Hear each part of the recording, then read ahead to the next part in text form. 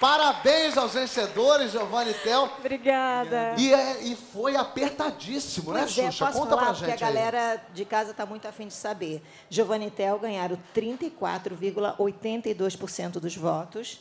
Raíssa, 32,92%. Caramba. Bárbara, 32,27%. Caramba. Ou seja, tudo 2%. muito juntinho. Tudo muito pertinho. Foi o mais 34, apertado de 32. todas as edições, né? Não, igual quase. Quase uma coisa assim, igual. É impressionante isso, olha. É. Giovana, tava confiante? Sabia que ia ganhar? Não, de jeito nenhum. Eu falei pro Theo, no primeiro dia de ensaio, eu só quero dançar todas as coreografias, todos os ritmos. Então, para isso, eu tinha que chegar na final, né? Mas eu não pensava na final, eu pensava em fazer o meu melhor a cada semana, porque eu sabia que se eu passasse dali, eu tinha chance de continuar. Theo achou que ela conseguia? Ah, com certeza.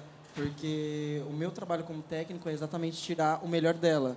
E como eu consegui fazer isso nas duas temporadas anteriores e consegui chegar até a final... Tava até as-? Duas vezes ele ficou com vice, duas Que vezes. loucura. Eu já passei por ele e falei, olha, não, não quero saber esse negócio de vice de novo, Mas não, quando eu cara. comecei a trabalhar com ela, lá no primeiro ensaio, eu já comecei a trabalhar exatamente da mesma forma com as outras duas.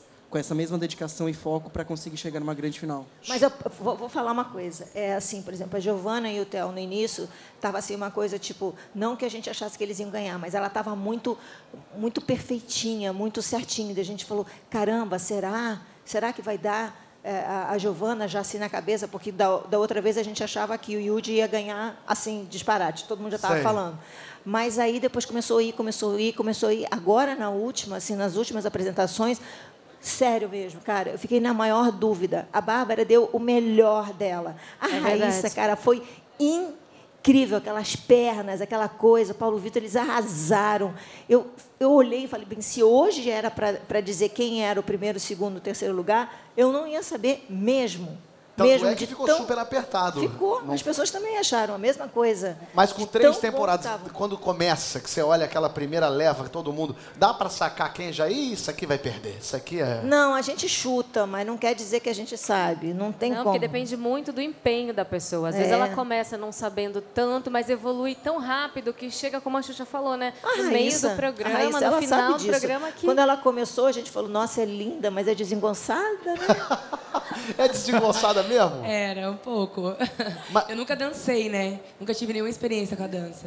Então foi o primeiro contato com a dança que eu tive foi no dancing. Caramba, já chegou na final. É, não, e quando a gente falava assim, ah, lá, a gente ia bater o texto, falava, quem vai sair?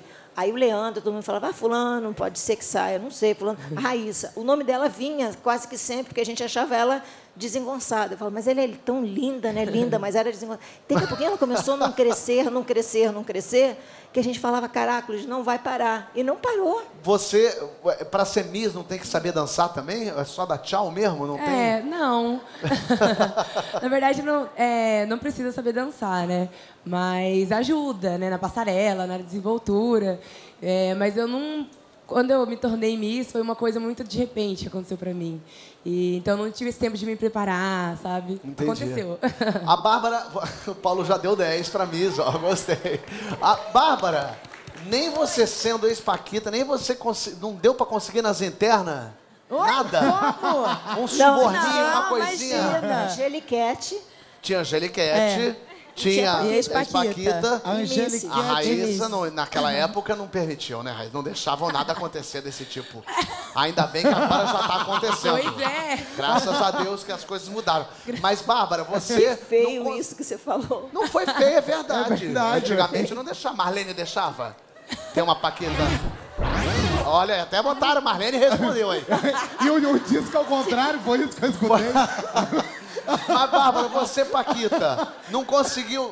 Você provavelmente foi a que menos, quando encontrou com a Xuxa, tomou um susto. Que a Joana Maranhão foi no programa agora e ela falou: quando encontrei, eu quase desmaiei, chorei pra caramba. Você viu Xuxa, deu tapa Não, mas na bunda. até né? hoje, até hoje eu encontro com ela. É? É, é, ela não. Não é desse mundo, né? É uma coisa assim, uma energia que a gente encontra e fica até assim, ai, fala ou não fala. Ai. Mesmo sendo Paquita, ex-Paquita. É, né? É.